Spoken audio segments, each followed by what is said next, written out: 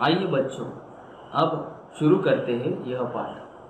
DC company ने refrigerator बनाया और उसकी प्रसिद्धि के लिए विदेशी विज्ञापन अपनाया।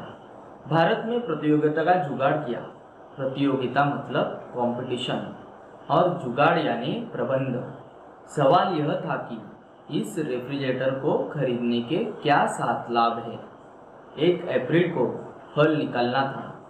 फल यानी रिज़ल्ट जिस प्रतियोगिता का उत्तर कंपनी के मुहरबंद यानी सील लिफाफे में मेल खा जाएगा, उसे एक रेफ्रिजरेटर मुफ़्त इनाम दिया जाए। भारत में धूम मच गई। लेखक कहते हैं, मेरे विचार से इतने उत्तर अवश्य पहुँचे होंगे कि उनकी रद्दी बेचकर एक रेफ्रिजरेटर के दाम तो वसूल हो जाएँगे। लॉटरी खुलने वाले दिन से पहली वाली रात थी। यानी एक अप्रैल को रिज़ल्ट निकलने वाला था और उसके पहले की यह रात थी। हम सब बाहर छत पर लेटे थे। हेमंत ने कहा पिताजी हम रेफ्रिजरेटर रखेंगे कहाँ पर? मतलब हेमंत को पिताजी पर विश्वास था कि इनाम तो हम ही जीतेंगे। तो रेफ्रिजरेटर कहाँ रखेंगे? यह सवाल उसके मन में आया। लेखक के पत्नी ने उत्तर दिया क्यों रसोई में जगह कर लेंगे? लेखक की पत्नी फिर से बोली, क्यों जी? तुमने बिजली कंपनी में दरख्वास्त तो दे दी है ना? घरेलू पावर चाहिए उसके लिए। घरेलू पावर यानी बिजली। लेखक मुस्कुराकर बोले, तुम तो ख्याली पुलाव पका रहे हो। मतलब तुम इतने कल्पना में खो गए कि मानो किसी ने तुम्हें टेलीफोन पर खबर कर दी हो। हमारे टेलीफोन तो तुम ही हो, पत्नी ने मस्का लगाया। इतने अच्छे लेखक के होते हुए कौन जीत सकेगा?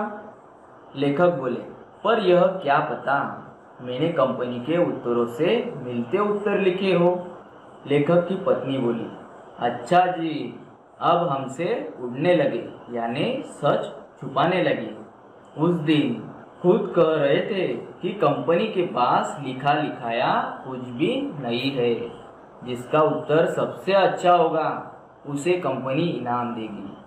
रेफ्रिजरेटर का विज्ञापन हो जाएगा और लाभ छाटे, छाटने के लिए किसी एक्सपर्ट व्यक्ति को रखना पड़ता।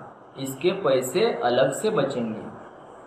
अमिता बोली, अमिता, ताली पीटकर बोली, पिताजी, मैं रोज आइसक्रीम खाऊँगी। हेमंत ने कहा, मैं बर्फ़ के क्यूब चूसूँगा। तभी बगल की छत से आवाज़ आई। यह आइसक्रीम रोज रोज कौन बना रहा है? क्या अमिता के पिताजी रेस्टोरेंट खोल रहे हैं? हेमंत चिल्लाकर बोला, नहीं ताऊजी, कल हमारा नया रेफ्रिजरेटर आने वाला है। अमिता भी खिलखिलाई, उसमें रोज़ाना आइसक्रीम जमाया करेंगे। ताऊजी ने कहा, क्या लॉटरी वाले की बात कर रहे हो तुम? वह तो मेरे नाम आ रहा है। वह रेफ्रिजरेटर तो मेरे नाम आ रहा है। लेखक ने नम्र स्वर से पड़ोसी दीनदयाल को पुकारा, क्या आपने भी उत्तर भरकर भेजा है? दीनदयाल बोले हाँ क्योंकि मेरा उत्तर तुम्हारे उत्तर से अच्छा है, इसलिए रेफ्रिजरेटर मिलेगा तो सिर्फ़ मुझे। खैर बच्चों, आइसक्रीम तो तुम्हें खिलानी ही पड़ेगी।